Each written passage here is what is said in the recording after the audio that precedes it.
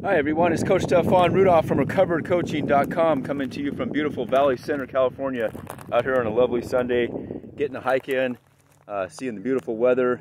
And this is up in Northeast County, San Diego, about an hour northeast of San Diego itself, up here in the mountains it's called, uh, the farthest part of San Diego County.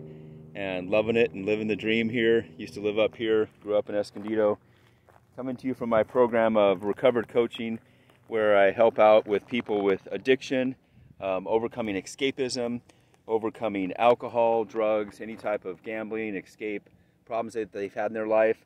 I've also done a lot of public speaking recently in the past couple years at schools. So this message is going out to the school systems itself for the principals, assistant principals, um, teachers, students themselves, letting you know about my story of overcoming obstacles and being a published author and also coming out with a book now called Thank You to the 1000th Power.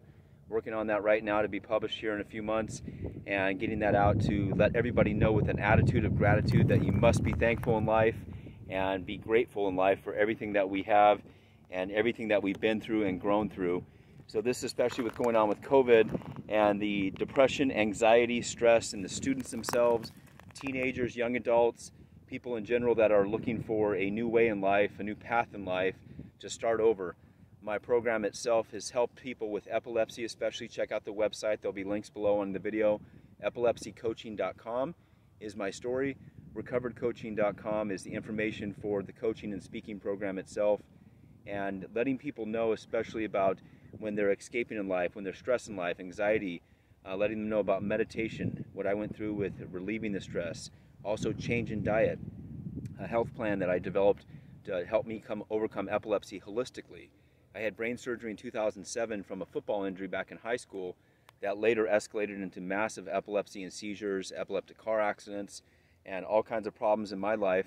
And even after brain surgery didn't work in 2007, I went down more of a meditation, uh, changing my diet, sobriety, a number of things in what I call the MAP program meditation and manifestation, awareness and attitude, prayer and positive thinking. All those areas changed my life to help me holistically cure and be off epilepsy, completely seizure free, free and off epilepsy medication now for eight years, and then also sober for almost nine years now as well. So during this transition, a major alcohol problem, and I'm telling you the story because this is what relates to the kids themselves and where my drinking escalated and started in high school and college and in those areas of social addiction to uh, partying and basically just leading the life that I thought was cool in my teens and 20s, but it never stopped. Got out of control, lost my life, lost everything, and ended up homeless at one time even. So I've been through a number of obstacles, and this story in general is very motivating. I've spoke at Temecula Valley High School online recently back in January of 2021 here, and spoke to a few hundred students and reaching out to more.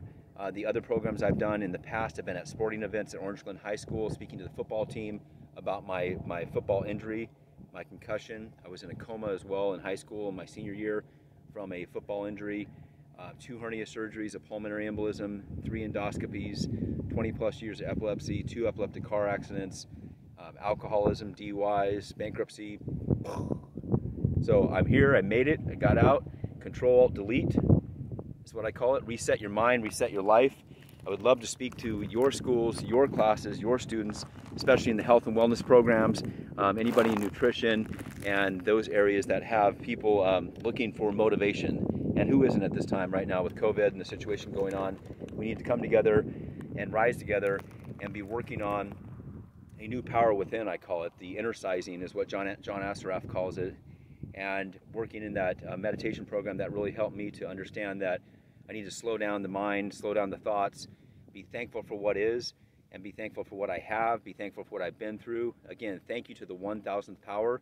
That equals being thankful every minute of every day for 16 and two thirds hours a day. 16 and two thirds times 60, that 1000. Came up with that a few years ago, didn't understand the numbers and how they correlated, but I just said I need to be thankful every minute of every day that I'm awake. And that's kind of what it connected with. So this book coming out is really going to connect people and you can you can hear some audio chapters on my channel here as well I put the chapters that I'm working on right now into audio about four chapters are on there and again I'm giving you this message to connect with the uh, staff and the school members let me know how I can help out. Let me know how I can speak online and or eventually in person again would be great. But for now, just uh, speaking to those that are looking for that motivation. Pretty much every student out there needs this and they can hear my story and definitely be motivated by it. So my name is Coach Stefan Rudolph. Send me an email to info at recoveredcoaching.com. You can call or text 760-215-2337 and subscribe, like, and share on the YouTube channel. And I look forward to hearing from you having a blessed day and a blessed life out here every day, every moment of every day, and helping kids overcome this depression and anxiety that I went through even before COVID, being isolated, losing everything, not having the ability to drive to get out. So I can very much connect with people on this level, and I look forward to hearing your response. Take care and have a blessed day.